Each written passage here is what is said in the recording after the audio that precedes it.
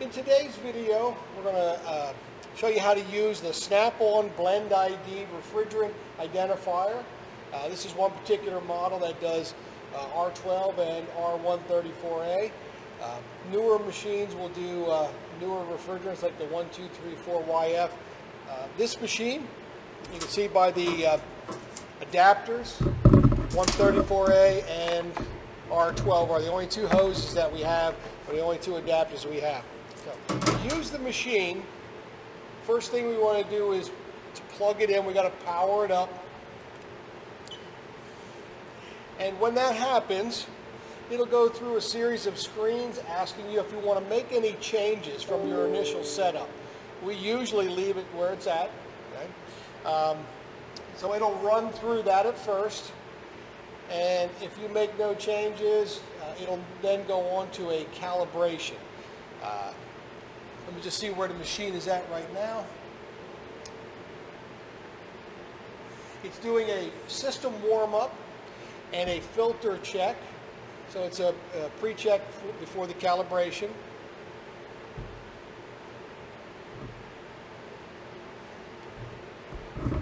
It does have a feature that you can print off of this, but we usually don't. We just want to see what is in our uh, system. So that's the whole idea. Why do we use a refrigerant identifier? To see what's in the uh, system before we hook up our recovery recycle machine. And if there's anything in there that could do damage to it, uh, cause it to uh, either fail or be contaminated, we'd rather pick it up here and change out a filter versus having to do um, some very costly maintenance or maybe even repairs to our machine. All right, still doing its warm-up. Once again, a little older machine, but uh, very, still very accurate. I'm sure the newer ones still have to do a warm-up and a calibration.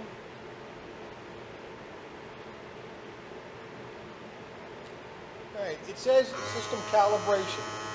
You just heard that noise. It's now going through the process of calibration. This takes a few seconds. And after that occurs, if everything's good, we don't have to vent out any air or if there's uh, you know, a filter that's not usable, then it will allow us to hook it to the vehicle. All right, so calibration's done. The next thing we want you to do is to select the system that we have. Is it R12 or R134A? So we'll press A, the button A, because we have 134A.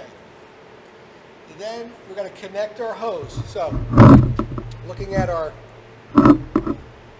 fittings here, we take the quick disconnect 134A type, Oops. and uh, set this down here. By hand, we'll make the connection to the port and then we will find our low pressure port. Usually it'll have a blue uh, cap on it. This one, both caps are black, but remember, this is only going to fit on the low pressure port.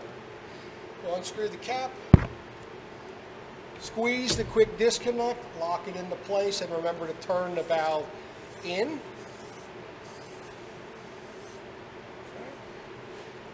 We look at our machine now we have pressure on the gauge. It's a low pressure sample. And to start the test, press A. The machine will then sample from the system, looking at what refrigerant it has, and then it will tell us exactly what's in here. It says sampling in progress.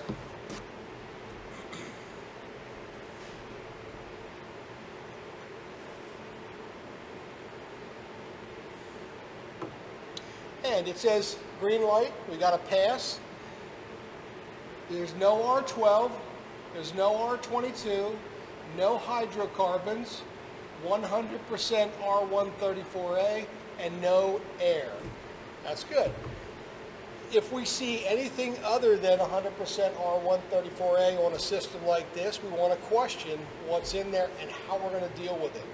Now, if it was cross-contaminated with HCs or hydrocarbons, we may have to have a dirty machine to pull that out. We don't want to put it in our good machine because remember, recover recycle, only pull out non-condensable gases. It cannot separate contaminated refrigerants. So we have a system here that's good. We can use it. We can uh, service it and whatnot. So when we're done, turn our valve back out and disconnect it. Take off our hose. And I'll put that away then. Unplug our machine.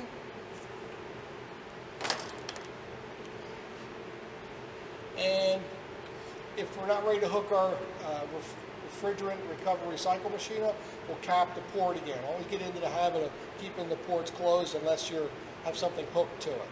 And that is how to use, that's the, uh, how to use our refrigerant identifier.